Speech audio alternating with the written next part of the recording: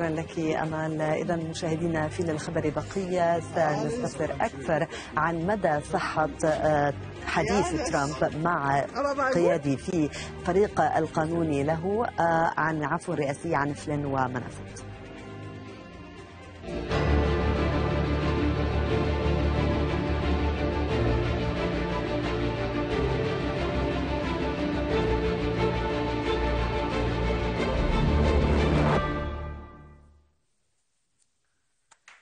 عدالة منقوصة أو تكاد تكون كذلك. عدالة لم يشأ الرئيس الأمريكي لها أن تسير وفق مسارها السليم.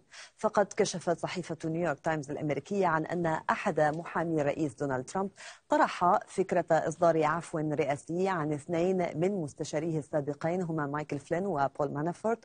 في الوقت الذي يجمع فيه المحقق الخاص روبرت مولر أدلة ضدهما ضمن التحقيق بشأن مزاعم تدخل روسيا في الانتخابات الرئاسية الأمريكية عام 2016 وحتى رغم نفي البيت الأبيض هذه التسريبات فإنها تضع إدارة ترامب في حرج كبير. فلماذا يسعى الرئيس الأمريكي في الخفاء إلى هدم تحقيق يؤيده في العلن؟ وهل يحق له أصلا إصدار عفو رئاسي في قضية من هذا النوع أم أن هذا يعني تدخلا من قبله لعرقلة مجرى العدالة؟ محامي ترامب عرض العفو الرئاسي عن مستشاري الرئيس السابقين فلين ومانافورت تنقل نيويورك تايمز عن ثلاثة أشخاص على اطلاع بالأمر. محامي ترامب جون دود عرض العفو على محامي المستشارين تحسبا لما يمكن أن يقوله مستشار الأمن القومي مايكل فلين ورئيس حملة ترامب السابق بول مانافورت للمحقق الخاص روبرت مولر قبل التوصل إلى اتفاق معه بشأن التعاون في التحقيقات. التحقيقات التي يقوم بها المدعي الخاص مولر مع مانافورت ومستشار الأمن السابق مايكل فلين تدور التكهنات حولها بين طرفي نقيض. مؤيدين ترامب يرون أنه لا يوجد قيمة لما سوف يقدمونه وأن ما يقوم به روبرت مولر هو مجرد حالة witch hunting اصطياد للساحرات. ومعارضين ترامب يرون أن لدى مانافورت وفلين ما يقدموه بما يسمح بعزل الرئيس ترامب وإدانته في محاكمة برلمانية. داود كان محامي ترامب فيما يتعلق بتحقيقات روسيا قبل استقالته الأسبوع الماضي لما تصفه الصحافة الأمريكية بصعوبة التعامل مع الرئيس وعدم استماعه لنصائح محاميه. المحامي ينفي قيامه بهذا العرض والبيت الأبيض ينفي الحديث عن أي عفو داخل أسواره. أحيلكم إلى تصريح تيكوب بخصوص التقرير الذي يقول فيه إنه سئل عن العفو من قبل الصحافة فقط وأنا أجبت على الدوام إنه لم يكن هناك أي نقاش أو أخذ بعين الاعتبار لأي عفو في البيت الأبيض. يلقي هذا الضوء على تحقيقات روسيا. كان فلين أقر بالكذب على مكتب التحقيقات الفيدرالي. أما مانافورت فتم توجيه تهم عدة له من ضمنها جرائم مالية. ليبقى مصير هذه التحقيقات الآن رهن تطورات. يقول البعض إنها قد ترقى إلى عرقلة للتحقيقات. ليست المرة الأولى التي تكشف فيها نيويورك تايمز تفاصيل لها علاقة بتحقيقات روسيا. هي من وسائل الإعلام التي يصفها ترامب بالمزيفة. ويشن البيت الأبيض حربا على التسريبات التي تصل إلى وسائل الإعلام منها نيويورك تايمز. ريما أبو حمدية التلفزيون العربي نيويورك. إذا ينضم إلينا في هذا النقاش من واشنطن عبر خدمة سكايب دانيال سيرور أستاذ في كلية الدراسات الدولية في جامعة جون هوبكنز وأيضا من واشنطن جو ماكارون الباحث في المركز العربي في واشنطن. أبدأ معك سيد سيرور يعني بداية هل تعتقد أن هناك أي علاقة لاستقالة جون دود من منصبه قبل أسبوع بما كشفته صحيفة نيويورك تايمز وتبعته أيضا تقارير واشنطن بوست وتقارير من السي ان ان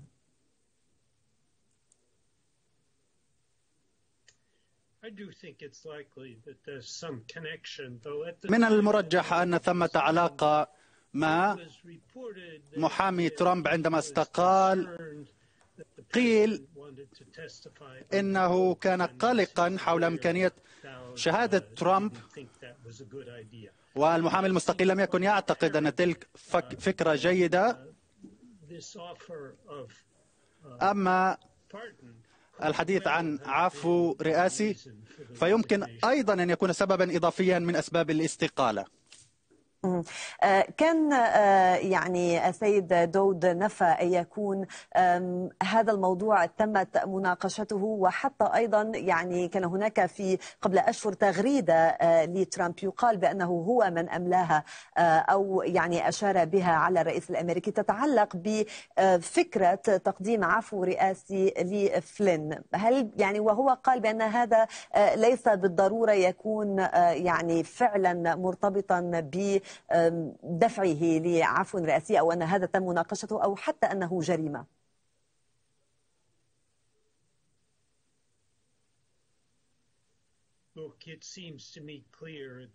يبدو لي أنه كان هناك تفكير في منح عفو رئاسي. مايكل فلين لم يكن لديه ثقة بأنه سيحصل على هذا العفو إذا ما اعترف بذنبه في بعض الجرائم. مانفورد من ناحية أخرى لم يعترف بأي جرم ولكن بدا وكأنه يترجى أو يرجو الرئيس في العلن. ولذا أعتقد أن منح العفو لمانفورت ما يزال احتمال قائم. سيد معكرون آه، يعني آه، كل الكلام هذا عن مسألة العفو آه، بحسب نيويورك تايمز يعني استندت إلى مصادر مطلعة. كان هناك نفي من كل الأطراف لكن كان يعني المحامي دود ربما له بعض التعليقات منها ما أشرنا إليه فيما يتعلق بالتغريدات السابقة التي حتى من عائلة فلين كانت تتحدث عن فكرة يعني مطالبة الرئيس بإصدار عفو ما عن فلين آه، وكان هناك آه، الكلام الذي يعني بالإشارة إلى هذه التغريدة فقط لتوضيح أنه كانت تتعلق أكثر ب آه، يعني بما يتعلق بأنه كان يعلم ترامب بأن فلين كذبة بشكل ما على نائب الرئيس وعلى آه، الأف بي آي. وبالتالي أن هذا لا يعني أن الرئيس كان يعلم كل هذه المحاولات للدفع آه، بأنه تمت مناقشة العفو الرئاسي. يبدو أنها أيضا تظهر أنه فعلا هناك نية لدى الرئيس آه، لعرقلة مجرى التحقيق بشكل ما فيما يتعلق بفلين ومانافورت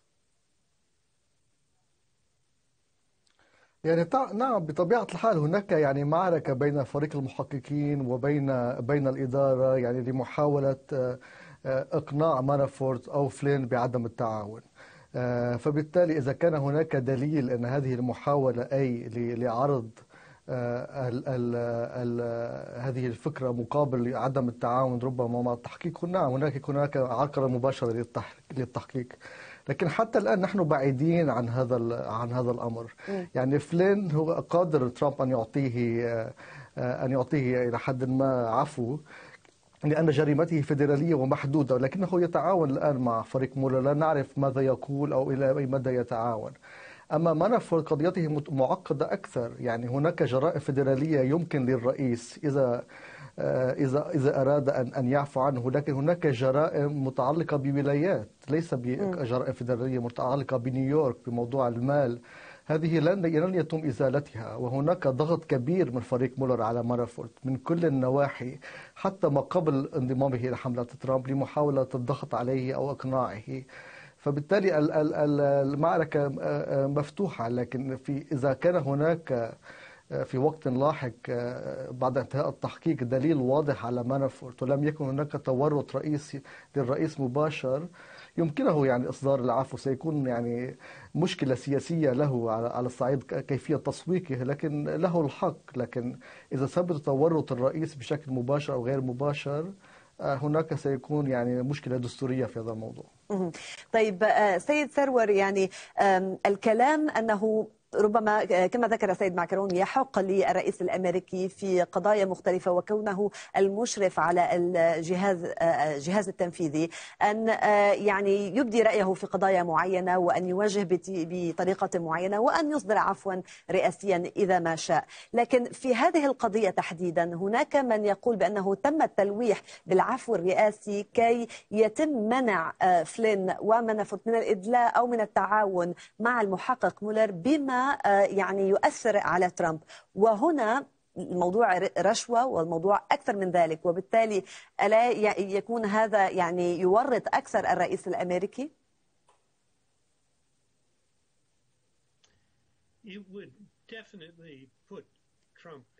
مما لا شك فيه أن هذا إذا ثبت فإنه سيضر بالرئيس ترامب.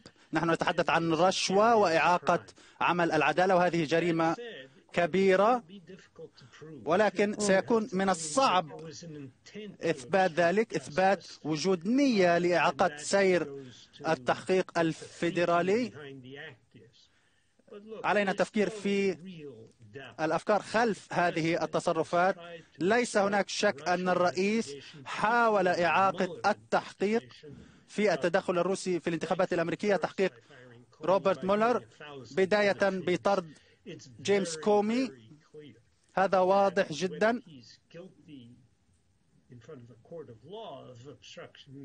سواء إذا ما تم إدانة ترامب في المحكمة هذا أمر متروك للقضاء. لكن مما لا شك فيه أن ترامب قام وحاول كل ما في إمكانه لإعاقة تحقيق روبرت مولر والشعب الأمريكي ليس عليه أن يكون سعيدا بذلك. سيد معكرون يعني السؤال هو الآن فعلا هل يعني حاول أو لا يزال يحاول الرئيس الأمريكي أن يعرقل مجرى العدالة التي يحاول أن يصل إليها المحقق مولر؟ إذا ما استعدنا يعني قضية فلين ومانافورت بشكل يعني مركز.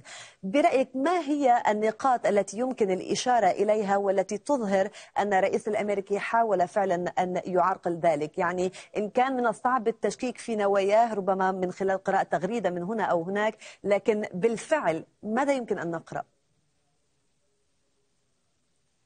يعني لا يوجد دليل حسي يعني هو دائما يعرف كيف يفصل بين عمل محاميه وبين عمله.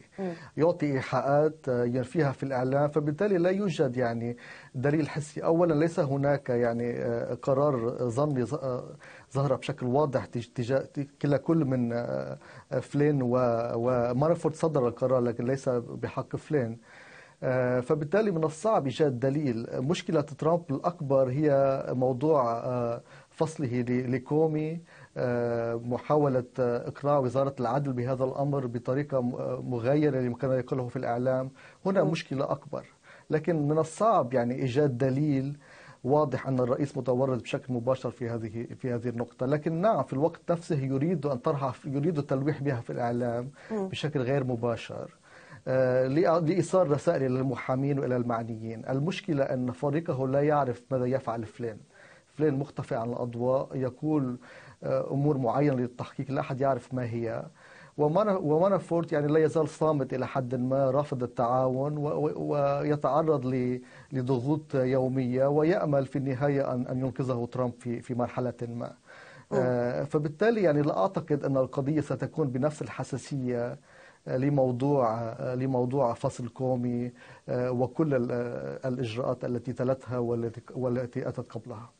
من التحليلات أيضا سيد سرور التي يعني أشارت إلى تسليط الضوء مجددا على يعني موضوع فلين ومانافورت هو أنه التهم الموجهة إليهما الآن لا لا تصل بعد إلى يعني هي تهم لجرائم منفردة في قضايا متصلة بتحقيق مولر إنما لا تثبت بالضرورة أن فيما يحقق فيه مولر هناك تواطؤ فيما يتعلق بالتدخل الروسي في الانتخابات عام 2016 لكن برأيك هل السؤال يجب أن يسأل هو إلى أي حد لولا وجود فلين أو مانافورت يمكن أن يكون هناك تواطؤا في هذه القضية أم لا؟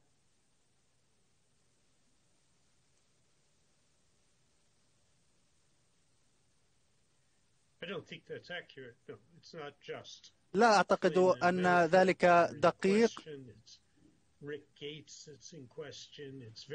هؤلاء كلهم تعرضوا للتحقيق. مايكل فلين وآخرين وكان هناك الكثير من العلاقات والصلات بين روسيا وحملة ترامب الانتخابية. أما السؤال الأهم فهو إذا ما كان هناك فعلا مؤامرة حقيقية بين هؤلاء الأشخاص وأيضا الحد الذي ذهبت إليه موسكو نحن شهدنا مستندات نشرها المحقق مولر بأن على الأقل أحد الأشخاص المقربين من ترامب كان على علاقة بضابط استخبارات روسي. أعتقد أنه من الواضح أن هناك محور من العلاقات بين أشخاص في حملة ترامب وبين الروس. السؤال هو ما هي الجرائم التي تم ارتكابها؟ وهل قبلت حملة ترامب أي مساعدة من أي نوع من الروس؟ لأن قبول أي مساعدة مثل ما شاهدنا في شركة كامبريدج أناليتيكا هو خرق للقانون الأمريكي. طيب سيد معكرون كلما يعني ظهرت معلومات معينة بما يتعلق بهذا التحقيق تقوم إدارة ترامب أو الفريق الإعلامي والقانوني له بالدفع بموجة معينة دفاعية. الآن الموجة الدفاعية هو أنه يعني فيما يتعلق بمسألة المعلومات عن مناقشة العفو الرئاسي عن فلين ومنافورت تتعلق بأنه هل يحق للرئيس أن يقوم بما يشاء؟ يعني هل لديه كارت بلانش لينفذ ما يريد فيما يتعلق بالعفو الرئاسي بالجهاز التنفيذي؟ ويدفعون الآن بنغمة جديدة هو أنه أي رئيس لا يمكن أن يكون يعني معرقلا للعدالة بحسب موقعه بالدستور كمشرف على أن تطبق القوانين بأمانة برأيك هذا النقاش يعني إلى أي مدى يمكن أن ينجح به فريق ترامب يعني المعركة الإعلامية إن كان؟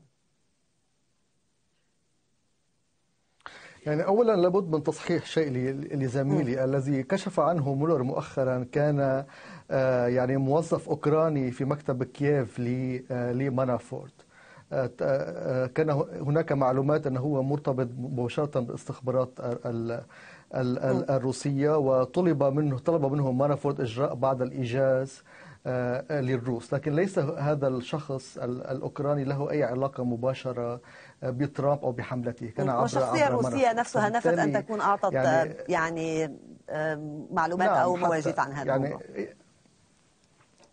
يعني فقط للتأكيد أن الصورة ليست يعني واضحة.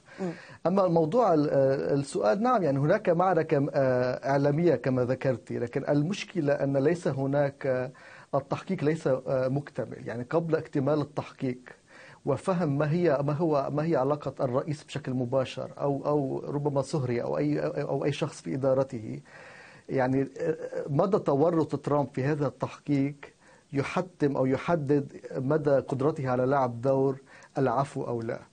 يعني من من هنا من المبكر يعني إيجاد صورة واضحة. الآن يستخدم هذه الورقة كلعبة للضغط في في هذه اللعبة مع المعركه الاعلاميه والقضائيه مع فريق مع فريق مولر. لا يريد ان أن يورط نفسه بمسألة العفو لكن يريد التلويح بها وهذا ما حصل في نيويورك تايمز وغيرها.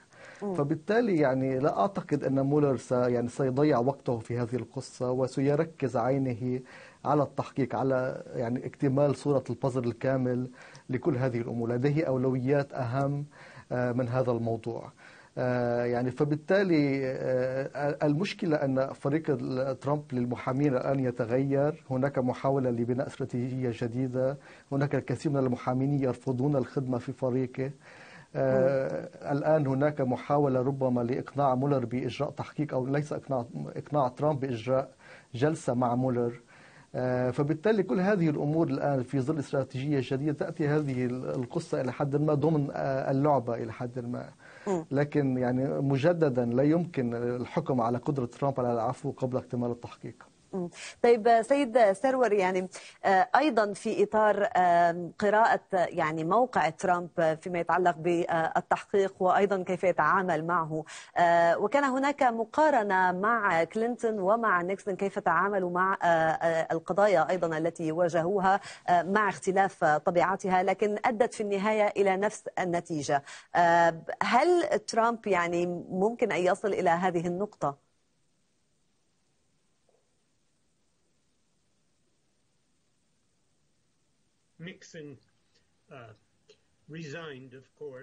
الرئيس نيكسون استقال كما تعرفون لأنه كان على وشك أن يعزل. هل ستصل الأمور إلى ذلك المستوى؟ هذا يعتمد على اللعبة السياسية في الولايات المتحدة. الجمهوريون يسيطرون على غرفتي الكونغرس. عزل الرئيس في حالة الرئيس السابق بيل كلينتون تم عزله بمعنى ما لكنه لم لم يكن مذنبا.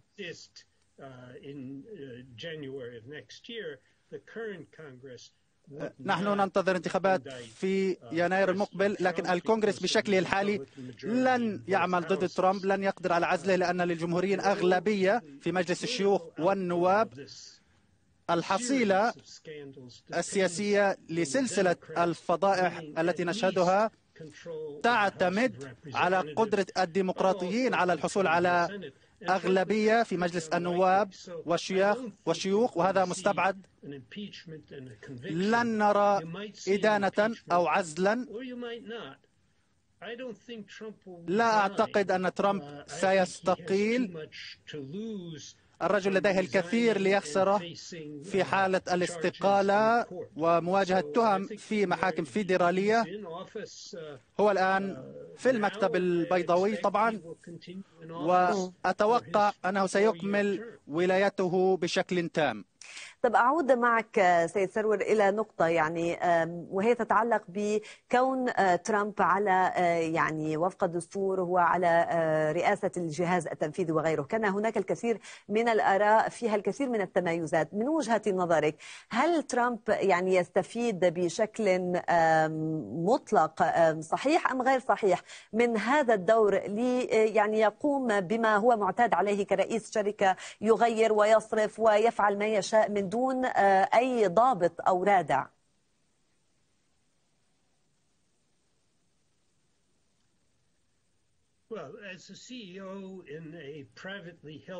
عندما كان ترامب رئيسا لشركة كان بإمكانه إصدار قرارات كيفما شاء ومقت ووقت ما شاء. ولكن كرئيس للولايات المتحدة الأمريكية الرئيس يخضع للمحاسبة من الرأي العام ومن المحاكم ومن الكونغرس أيضا. هناك سبل شتى تفيد بأن منصب رئاسة الولايات المتحدة منصب مقيد بالعديد من الاعتبارات. ويبدو أن رئيس ترامب لا يفهم هذه المسألة هذه المحددات لسلطته التنفيذية. أنا أفترض أنه قرأ الدستور الأمريكي وإذا قرأه فعلا فإن الدستور يؤكد بشكل كبير على المحددات والضوابط بين الرئاسة والمحكمة العليا. ولا أعتقد أن رئيس ترامب يفهم ذلك. الرئيس تصرف بطرق عادت عليه بالخطر وعلى إدارته أيضا. سيد جو معكرون ذكرت بأنه الفريق القانوني الآن لترامب الذي يتغير كما أشرت يشير عليه بأنه ربما من الضروري الجلوس مع المحقق مولر. هل برأيك أن يعني هذا الاتجاه ممكن هذا اللقاء ممكن أن يحدث؟ وما الأجواء تشير إلى ماذا؟ ماذا سيكون فحوى اللقاء؟ هل هو تسوية ربما؟ لا أعتقد هناك تسوية لأن ليس هناك يعني قضية مباشرة متعلقة بالرئيس حتى الآن. فبالتالي الفريق فريق ترامب يحاول فهم من مولر ماذا يريد من الرئيس. ربما محاولة وضع أسئلة محددة. مولر حتى الآن لا يكشف أوراقه. فبالتالي هناك قلق من المحامين ولهذا استقال بعضهم إلى ماذا سيقول ترامب؟ هل سيقع في خطأ في فخ ما يقول أمور لا يجب قولها؟ فبالتالي يعني يعني لابد من يعني جلوس فريق المحامين للطرفين. لمحاولة وضع ضوابط يعني هل, لهذا هل سيكون استجواب غير رسمي بشكل ما أو جلسة استماع ومساءلة غير رسمية؟ يعني الفريق يريد ضمانات. أن ليس هناك يعني شيء متعلق بالرئيس بشكل مباشر. يعني ليس هناك اتهام. يريد فهم يعني ما هي أوراقه مسبقا. لا يريدون الدخول في اجتماع بدون فهم فعلا ماذا ماذا يجري. وهنا يعني ال ال التحدي الرئيسي الخوف ان أن ترامب يعني يسترسل في الأجوبة يقول أمور قد قد يوقعه فيها في وقت سابق. يعني علينا نتذكر أن فلين وقع في فخ ال FBI حين حين سألوه سؤال وكانوا يعرفون الجواب فنفى. حين نفى تم اتهامه بالكذب على ال FBI فبالتالي يعني هناك حس موضوع حساس إذا كان التحقيق رسمي يعني كل كلمة يقولها الرئيس لها لها لها وزن ولها تداعيات. فبالتالي لابد من الاتفاق على كل هذه الأمور يعني قبل قبل. لكن الرئيس يعني ترامب أوضح مرتين أو أكثر إن حتى الآن إنه يريد الاجتماع. لكن لم يبدأ فعلا التشاور الرسمي بين الطرفين بشكل جدي يعني. نعم. فربما مولر ينتظر اللحظة المناسبة. شكرا جزيلا لك جو معكرون من واشنطن الباحث في المركز العربي في واشنطن وأيضا أشكر عبر خدمة سكايب دانيال سيرور أستاذ في كلية الدراسات الدولية في جامعة جون هوبكنز. مشاهدينا وصلنا إلى ختام للخبر بقيه أشكر متابعتكم وإلى اللقاء في حلقة جديدة.